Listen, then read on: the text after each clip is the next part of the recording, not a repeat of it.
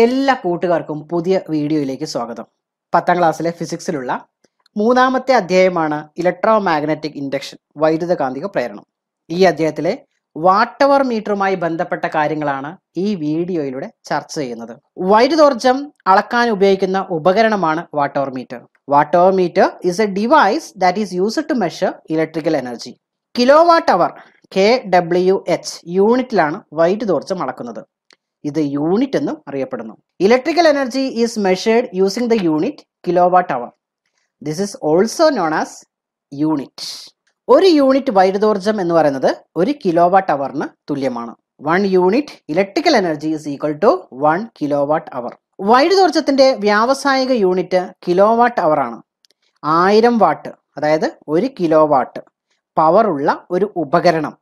ഒരു മണിക്കൂർ പ്രവർത്തിക്കുമ്പോഴാണ് ഒരു യൂണിറ്റ് അല്ലെങ്കിൽ ഒരു കിലോ വാട്ട് അവർ വൈദ്യുതോർജം ഉപയോഗിക്കുന്നത്. The commercial unit of electrical energies kilo watt hour a device of power thousand watt that is one kilo watt when used for one hour consumes one unit of electrical energy that is one kilo watt hour അപ്പൊ kilo what അവറിലുള്ള ഊർജം എന്ന് പറയുന്നത് എങ്ങനെ കണ്ടെത്തും? വാട്ടിലുള്ള power into മണിക്കൂറിലുള്ള സമയം divided by thousand power in watt into time in hour divided by thousand അപ്പോൾ ഇവിടെ ചോദ്യം നോക്കുക.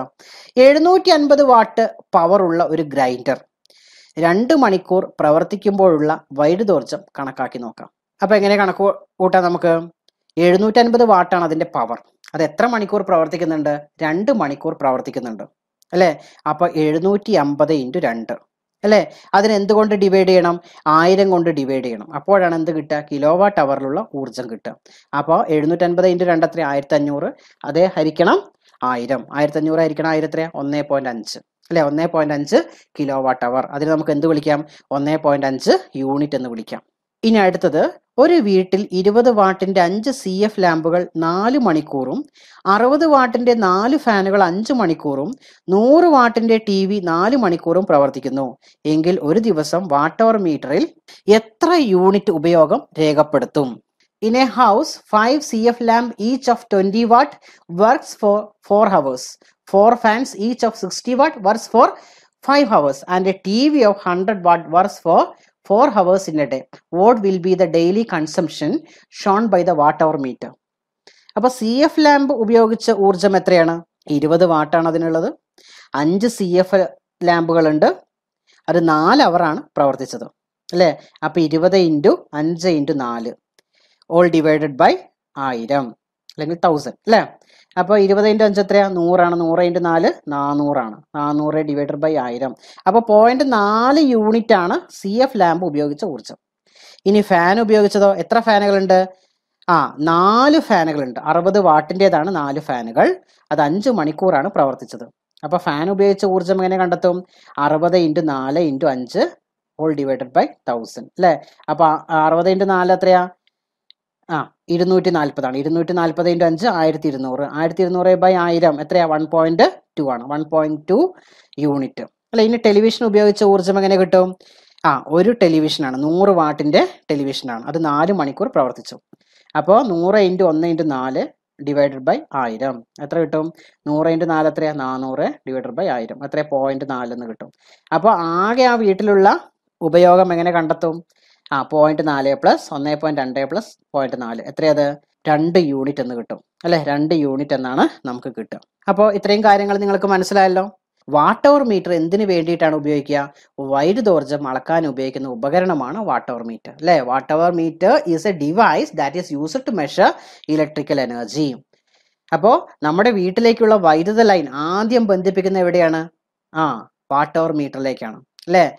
The electric line reaching our home connected first to watt hour meter. അല്ലേ? ഈ വാട്ട് അവർ മീറ്ററിൽ നിന്നാണ് എന്ത് ആരംഭിക്കുന്നത്?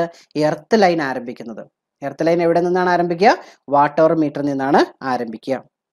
ഇനി അടുത്തത് ഈ ഗാർഹിക വൈദ്യുതി വിതരണത്തിൽ സുരക്ഷിതത്വം ഉറപ്പുവരുത്തുന്നതിനുള്ള മാർഗങ്ങളാണ് നമുക്ക് അടുത്തതായിട്ട് ചർച്ച ചെയ്യേണ്ടത്. Safety measures in household electrification അപ്പൊ ആദ്യമായിട്ട് നമ്മൾ പറയുന്ന സുരക്ഷാ ഫ്യൂസിനെ കുറിച്ചാണ് സേഫ്റ്റി ഫ്യൂസിനെ കുറിച്ചാണ്. അപ്പോൾ സുരക്ഷാ ഫ്യൂസിനെ കുറിച്ചൊക്കെ വളരെ വ്യക്തമായിട്ട് നമ്മൾ ഒന്നാമത്തെ ചാപ്റ്റർ വളരെ വിശദമായിട്ട് പറഞ്ഞിട്ടുണ്ട്. ഒരു ഗാർഹിക സർക്യൂട്ടിൽ അമിതമായ വൈദ്യുത പ്രവാഹം അല്ലെങ്കിൽ എക്സസ് ഫ്ലോ ഓഫ് കറണ്ട് ഉണ്ടാവുകയാണെങ്കിൽ അവിടെ എന്ത് സംഭവിക്കാം? അവിടെ ജൂൾ നിയമപ്രകാരം ധാരാളം താപം അല്ലെങ്കിൽ ഹീറ്റ് എനർജി ഉണ്ടാവാം. ആ ഹീറ്റ് എനർജിയുടെ ഫലമായിട്ട് അവിടെ തീപിടുത്തമൊക്കെ ഉണ്ടാവാനുള്ള സാധ്യതകളുണ്ട്. അപ്പൊ അമിതമായ വൈദ്യുത പ്രവാഹം ഉണ്ടായ എന്താ സംഭവിക്കുക? തീപിടുത്തം. ആ വീട് തന്നെ കത്തിപ്പോകാനുള്ള ചാൻസ് ഉണ്ട്. അപ്പോൾ ഇത്തരം സാഹചര്യങ്ങളിൽ ഒരു ഫ്യൂസ് വയർ എന്ത് ചെയ്യും? ആ ഫ്യൂസ് വയർ അമിതമായ വൈദ്യുത പ്രവാഹം ഉണ്ടാവുന്ന സമയത്ത് ഈ വൈദ്യുതി ഫ്യൂസ് വയറിലൂടെ ഒഴുകുകയും ഫ്യൂസ് വയറിൽ എന്തുണ്ടാകും? ഒരു ഹീറ്റ് എനർജി അല്ലെ ജൂൾസ് ലോ പ്രകാരം. എച്ച് എസ് സികളുടെ ഐ സ്ക്വയർ ആർ ടി ആണ്. അപ്പോൾ ഐ കൂടുന്നതിനനുസരിച്ച് അവിടെ എന്തുണ്ടാകും? ഒരു ഹീറ്റ് ജനറേറ്റ് ചെയ്യും. ആ ഫ്യൂസ് വയർ പെട്ടെന്ന് ഒരുങ്ങും കാരണം ഫ്യൂസ് വയർ ഉണ്ടാക്കിയിട്ടുള്ള എന്തുകൊണ്ടാണ്? ടിന്നിന്റെയും ലെഡിന്റെയും ഒരു അലോയാണ് ലോഹ സങ്കരമാണ്. ടിന്നിന്റെയും ലെഡിന്റെയും അത് പെട്ടെന്ന് ഉരുകും. അതിന്റെ ദ്രവണാംഗം വളരെ കുറവാണ്. മെൽറ്റിംഗ് പോയിന്റ് വളരെ കുറവാണ്. അപ്പോൾ ഉരുകി കഴിഞ്ഞാൽ എന്ത് ചെയ്യില്ല? പിന്നീട് ആ സർക്യൂട്ടിലൂടെ കറണ്ടിന് ഫ്ലോ ചെയ്യാൻ പറ്റില്ല. ആ സർക്യൂട്ട് അവിടെ ബ്രേക്ക് ആയി. അല്ലേ? അപ്പൊ അനുയോജ്യമായ ആംബിയറേജ് ഉള്ള ഫ്യൂസ് വയർ ആണ് ആ സർക്യൂട്ടിൽ ഉപയോഗിക്കേണ്ടത്. ഇനി അപ്പൊ അത് ആ ഫ്യൂസ് വയർ എന്ത് ചെയ്യും? ബ്രേക്ക് ചെയ്തിട്ടുണ്ടാവും. അത് കത്തിപ്പോയിട്ടുണ്ടാവും. അപ്പൊ അതിന് നമ്മൾ എന്ത് ചെയ്യണം? മാറ്റി വേറൊരു ഫ്യൂസ് വെയർ അവിടെ വെച്ചാൽ മാത്രമാണ് ആ സർക്യൂട്ട് പിന്നീട് പൂർവസ്ഥിതിയിലാവുകയുള്ളൂ. ഓക്കെ ആണല്ലോ? ഇന്ന് ഫ്യൂസ് വയറിന് പകരം നമ്മൾ എം സി ബി അല്ലെങ്കിൽ മിനിയേച്ചർ സർക്യൂട്ട് ബ്രേക്കറുകളാണ് ഉപയോഗിക്കുന്നത്. എന്താണ് മിനിയേച്ചർ സർക്യൂട്ട് ബ്രേക്കർ എന്ന് പറയുന്നത്? ഫ്യൂസിന് പകരമായി ഈ സർക്യൂട്ടുകളിൽ ഉപയോഗിക്കുന്ന സംവിധാനമാണ് എം സി ബി ഇപ്പോൾ സർക്യൂട്ടിൽ ഷോർട്ട് സർക്യൂട്ട് അതുപോലെ ഓവർലോഡ് തുടങ്ങിയ മൂലം അമിതമായ വൈദ്യുത പ്രവാഹം അതായത് എക്സസ് ഫ്ലോ ഓഫ് കറണ്ട് ഉണ്ടാവുകയാണെങ്കിൽ ഈ എം സി ബി എന്ത് ചെയ്യും? സ്വയം ഓട്ടോമാറ്റിക് ആണ്. സ്വയം നിയന്ത്രിതമായിട്ട് സർക്യൂട്ട് വിച്ഛേദിക്കപ്പെടുന്നു. അതായത് എം സി ബിയിൽ എന്തുണ്ട്? ഒരു ബൈ മെറ്റാലിക് സ്ട്രിപ്പ് ഉണ്ട്. കറണ്ട് അമിതമായിട്ട് ഒഴുകുന്ന സമയത്ത് അത് ഭയങ്കരമായിട്ട് ചൂടാവുകയും ആ ബൈ മെറ്റാലിക് സ്ട്രിപ്പ് വളയുകയും ചെയ്യുന്നു. അപ്പോൾ സർക്യൂട്ട് എന്ത് ചെയ്യും? അത് ബ്രേക്ക് ചെയ്യും. അതായത് ട്രിപ്പ് ആവും. അല്ലേ? ബ്രേക്ക് ചെയ്യും. പിന്നെ അതിലൂടെ എന്ത് ഒഴുകില്ല? വൈദ്യുതി ഒഴുകില്ല. പിന്നീട് നമുക്ക് എന്ത് ചെയ്താൽ മതി? സർക്യൂട്ടിലെ തകരാറൊക്കെ പരിഹരിച്ചതിന് ശേഷം എം സി ബിയുടെ സ്വിച്ച് ഓൺ ആക്കി കഴിഞ്ഞാൽ അതിലൂടെ വൈദ്യുതി പൂർവസ്ഥിതിയിലാകും. മനസ്സിലാവുന്നോ? പക്ഷേ ഫ്യൂസ് വയറിലാവുന്ന സമയത്ത് എന്ത് ചെയ്യേണ്ടത്? നമ്മൾ വേറൊരു ഫ്യൂസ് വയർ കെട്ടിയാൽ മാത്രമേ സർക്യൂട്ട് വർക്ക് ചെയ്യുള്ളൂ. പക്ഷേ എം സി ബിയിലാണെങ്കിൽ അങ്ങനെയില്ല. എം സി ബിയുടെ സ്വിച്ച് ഓൺ ആക്കി കഴിഞ്ഞാൽ തന്നെ അത് തുടർന്ന് പ്രവർത്തിക്കും. അല്ലേ? തകരാർ പരിഹരിക്കണമെന്ന് മാത്രം.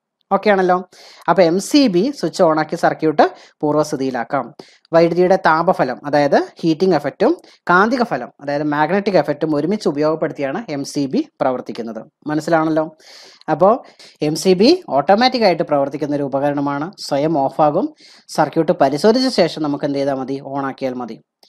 അപ്പോൾ വൈദ്യുതിയുടെ കാന്തിക ഫലം അതുപോലെ താപഫലം എന്നിവയൊക്കെ ഉപയോഗിച്ച് പ്രവർത്തിക്കുന്ന ഉപകരണമാണ് എം സി ബി പക്ഷേ ഫ്യൂസ് വെയർ ആണെങ്കിൽ താപഫലം ഉപയോഗിച്ചുകൊണ്ട് പ്രവർത്തിക്കുന്ന ഒരു ഉപകരണമാണ്. അപ്പോൾ ഫ്യൂസ് വെയറിനെ അപേക്ഷിച്ച് എം സി ബിക്കുള്ള മേന്മകൾ അല്ലെങ്കിൽ ഗുണങ്ങളാണ് ഉപയോഗിക്കാൻ വളരെ എളുപ്പമാണ്. അല്ലേ? It is easy to use പഴയ രൂപത്തിലേക്ക് എത്തിക്കാൻ എളുപ്പമാണ്. പെട്ടെന്ന് സ്വിച്ച് ഓൺ ആക്കിയാൽ തകരാറ് പരിഹരിച്ചുകൊണ്ട് പെട്ടെന്ന് സ്വിച്ച് ഓൺ ആക്കിയാൽ പഴയ രൂപത്തിലേക്ക് എത്തും. അതിലൂടെ വൈദ്യുതി കടന്നു പോകും ഇനി സ്വയം നിയന്ത്രിത പ്രവർത്തനം ഓട്ടോമാറ്റിക് ആയിട്ട് പ്രവർത്തിക്കുന്നതാണ്. ഓക്കെ ആണല്ലോ? അതുപോലെ നമ്മൾ ഉപയോഗിക്കുന്ന പല ഉപകരണങ്ങളിലും ലോഹത്തിന്റെ ഒരു ചട്ടക്കൂട് ഉള്ളവ ഉണ്ടാകാം അല്ലേ? ഒരു മെറ്റാലിക് ഫ്രെയിം ഉള്ള ഉപകരണങ്ങൾ ഉണ്ടാകാം ഇപ്പൊ ഉദാഹരണത്തിന് ഇസ്തിരിപ്പെട്ടി ഇസ്തിരിപ്പെട്ടിക്ക് എന്തുണ്ട്? ഒരു ലോഹ ചട്ടക്കൂട് അല്ലെങ്കിൽ ഒരു മെറ്റാലിക് ഫ്രെയിം ഉണ്ട്. അപ്പോൾ ആ മെറ്റാലിക് ഫ്രെയിമുമായിട്ട് നമ്മുടെ ഫേസ് ലൈൻ എങ്ങാനും കോണ്ടാക്ട് വരികയാണെങ്കിൽ അതായത് ഇൻസുലേഷൻ തകരാറ് മൂലമോ അല്ലെങ്കിൽ വേറെ എന്തെങ്കിലും കാരണങ്ങൾ കൊണ്ട് ഈ ഫേസ് ലൈനും ഈ ലോഹ ചട്ടക്കൂടും അല്ലെങ്കിൽ ഈ മെറ്റാലിക് ഫ്രെയിമുമായിട്ട് കോണ്ടാക്ട് ഉണ്ടാവുകയാണെങ്കിൽ എന്താ സംഭവിക്കുക? ആ ലോഹ ചട്ടക്കൂടിന്റെ മേലെ സ്പർശിക്കുന്ന ആൾക്ക് ഷോക്ക് ഏൽക്കാനുള്ള സാധ്യതയുണ്ട്. അപ്പൊ അതുകൊണ്ടാണ് നമ്മൾ എന്ത് ചെയ്യുന്നത്? ആ ലോഹ ചട്ടക്കൂട് എർത്ത് ചെയ്യുന്നത്. അപ്പോൾ എർത്തിലേക്കാണ് കറണ്ട് ഫ്ലോ ചെയ്യുക. പക്ഷേ ആ തകരാർ നമുക്ക് എന്ത് ചെയ്യാൻ പറ്റുന്നില്ല? കണ്ടുപിടിക്കാൻ പറ്റുന്നില്ല. അപ്പോൾ അങ്ങനെ വരുന്ന സമയത്ത് എർത്തിലേക്ക് അമിതമായ വൈദ്യുത പ്രവാഹം എക്സസ് ഫ്ലോ ഓഫ് കറണ്ട് എർത്തിലേക്ക് ഉണ്ടാകും. അപ്പൊ ഇൻസുലേഷൻ തകരാറ് മൂലമോ മറ്റോ സർക്യൂട്ടിൽ കറണ്ട് ലീക്ക് ഉണ്ടായാൽ സർക്യൂട്ട് ഓട്ടോമാറ്റിക്കായി വിച്ഛേദിക്കപ്പെടാനാണ് ഇ എൽ സി ബികൾ ഉപയോഗിക്കുക. അതായത് എർത്ത് ലീക്കേജ് സർക്യൂട്ട് ബ്രേക്കർ അപ്പോൾ ഇതുമൂലം വൈദ്യുത സർക്യൂട്ട് ഉപകരണവുമായി സമ്പർക്കത്തിൽ വരുന്നവർക്ക് എന്ത് ഏൽക്കില്ല? ഷോക്ക് ഏൽക്കില്ല. അല്ലേ? എപ്പോഴാണോ എർത്തിൽ ഒരു കറണ്ട് ഉണ്ടാവുന്നത് അല്ലേ? എർത്തിൽ കറണ്ട് ഉണ്ടാവുന്ന സമയത്ത് ഇ എൽ സി ബി എന്താവും? ബ്രേക്ക് ചെയ്യും. അല്ലെങ്കിൽ E L C B trip ആവും. അത് ഓട്ടോമാറ്റിക് ആയിട്ട് ഓഫ് ആവും. ആ എർത്തിലൂടെ എന്ത് ചെയ്യുന്നില്ല? വൈദ്യുതി ആ ഒരു സർക്യൂട്ടിലൂടെ വൈദ്യുതി കടന്നു പോവില്ല നമ്മൾ എന്ത് ചെയ്യാൻ പറ്റും? ആ തകരാറ് പരിഹരിച്ചതിന് ശേഷം E L C B on ആക്കി കഴിഞ്ഞാൽ നമുക്ക് വീണ്ടും അത് വളരെ ഈസി ആയിട്ട് ആ ഉപകരണം പ്രവർത്തിപ്പിക്കാം. അല്ലേ? അപ്പൊ ഇ എൽ സി ബി എന്താ ചെയ്യുന്നത്? എപ്പോഴെല്ലാമാണോ എർത്തിലൂടെ ഒരു അമിതമായ വൈദ്യുത പ്രവാഹം ഉണ്ടാവുന്നത് ആ സർക്യൂട്ട് എന്ത് ചെയ്യും? അവിടെ ബ്രേക്ക് ചെയ്യപ്പെടും. അല്ലേ? അപ്പൊ അത് ബ്രേക്ക് ചെയ്താൽ നമുക്ക് മനസ്സിലാക്കാം. അവിടെ എന്തോ ഒരു പ്രശ്നമുണ്ട്. ആ സർക്യൂട്ടിന് എന്തോ ഒരു പ്രശ്നമുണ്ട്.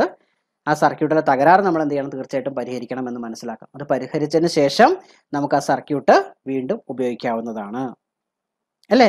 അങ്ങനെ പരിഹരിച്ചിട്ടില്ലെങ്കിൽ എന്താ സംഭവിക്കുക? നമുക്കറിയില്ല. അത് എർത്തിലേക്ക് ലീക്കേജ് കറണ്ട് ഉണ്ടോ എന്ന് നമുക്കറിയില്ല. അല്ലേ? നമ്മൾ പോയിട്ട് സ്പർശിക്കുകയൊക്കെ ആണെങ്കിൽ നമുക്ക് ഷോക്ക് ഏൽക്കാനുള്ള സാധ്യതയുണ്ട്. അപ്പൊ ആദ്യകാലത്ത് ഇ എൽ സി ബിയിൽ ഈ റിലേ കോയിലിന്റെ ഒരു അഗ്രം ഉപകരണത്തിന്റെ ലോഹ ചട്ടക്കൂടുമായും മറ്റേ അഗ്രം എർത്തിലേക്കുമാണ് ബന്ധിപ്പിച്ചിരുന്നത്. ആദ്യകാലത്ത് ഇ എൽ സി ബിയിൽ റിലേ കോയിലിന്റെ ഒരഗ്രം ഉപകരണത്തിന്റെ മെറ്റാലിക് ഫ്രെയിമുമായിട്ടും മറ്റേ അഗ്രം എർത്തിലേക്കുമാണ് ബന്ധിപ്പിച്ചിരുന്നത്. ഇൻസുലേഷൻ തകരാർ മൂലമോ മറ്റോ കറണ്ട് എർത്തിലേക്ക് ലീക്ക് ആയാൽ റിലേ കോയിലിന്റെ അഗ്രങ്ങൾക്കിടയിൽ എന്തുണ്ടാകും? ഒരു പൊട്ടൻഷ്യൽ വ്യത്യാസം ഉണ്ടാകും. തൽഫലമായി ഉണ്ടാകുന്ന കറണ്ട് ഒരു നിശ്ചിത പരിധിയിൽ കൂടുകയാണെങ്കിൽ E L C B automatic ആയിട്ട് എന്ത് ചെയ്യും? ട്രിപ്പ് ആവും. അല്ലേ? അത് ഓഫ് ആവും. അങ്ങനെയാണ് നമ്മളെ സംരക്ഷിക്കുന്നത്. ഇതിന് പകരം ഇ എൽ സി ബിയേക്കാളും കൂടുതൽ സുരക്ഷിതത്വം ഉറപ്പുവരുത്തുന്ന ആർ സി സി ബി അതായത് റെസിജൽ കറണ്ട് സർക്യൂട്ട് ബ്രേക്കർ ആണ് ഇപ്പോൾ ഉപയോഗിക്കുന്നത്. ഇതിലെന്താ സംഭവിക്കുക? ഫേസ് കറണ്ടും ന്യൂട്രൽ കറണ്ടും തമ്മിലുള്ള വ്യത്യാസം. വ്യത്യാസത്തിലൂടെ കറണ്ട് ലീക്കേജ് തിരിച്ചറിഞ്ഞ് സർക്യൂട്ട് വിച്ഛേദിക്കുന്ന സംവിധാനമാണ് ഉള്ളത് അതായത് ആർ സി സി ബിയിൽ ഫേസ് കറണ്ടും ന്യൂട്രൽ കറണ്ടും തമ്മിലുള്ള വ്യത്യാസം എപ്പോഴും നിരീക്ഷിച്ചുകൊണ്ട് കറണ്ട് ലീക്കേജ് തിരിച്ചറിയുന്നു. അതായത് കറണ്ട് ലീക്കേജ് ഉണ്ടെങ്കിൽ ആ വ്യത്യാസം കുറയും. അല്ലെ? സാധാരണ രീതിയിൽ ഫേസിൽ ഇരുന്നൂറ്റി മുപ്പത് വോൾട്ടും ന്യൂട്രൽ എന്താണുള്ളത്? സീറോ വോൾട്ടുമാണുള്ളത്. ആർ സി സി ബിയിലാണെങ്കിൽ ഫേസ് കറണ്ടും ന്യൂട്രൽ കറണ്ടും തമ്മിലുള്ള വ്യത്യാസത്തിലൂടെ കറണ്ട് ലീക്കേജ് തിരിച്ചറിഞ്ഞ് സർക്യൂട്ട് വിച്ഛേദിക്കുന്ന സംവിധാനമാണ് ഉള്ളത് വാട്ട് അവർ മീറ്ററിനെ കുറിച്ചും എം സി ബിയെ കുറിച്ചുമുള്ള വിവരങ്ങളാണ് ഈ വീഡിയോയിലൂടെ നിങ്ങളുമായി പങ്കുവച്ചത്. ഈ വീഡിയോ കണ്ടതിന് ശേഷം ആവശ്യമുള്ള ഭാഗങ്ങൾ നോട്ട്ബുക്കിൽ കുറിച്ചെടുക്കുക. നന്നായിട്ട് പഠിക്കുക. പുതിയ വീഡിയോയുമായി വീണ്ടും കാണാം.